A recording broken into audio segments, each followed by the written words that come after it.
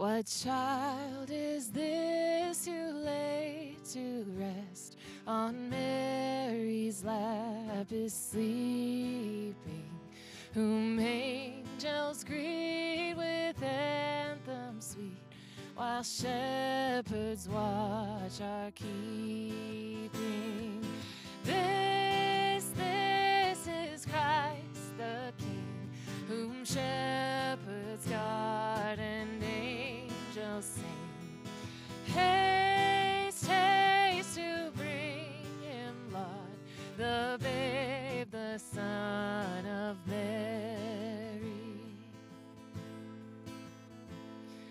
Why lies he in such mean estate, where ox and ass are seating? Could Christians fear or sinners hear the sound?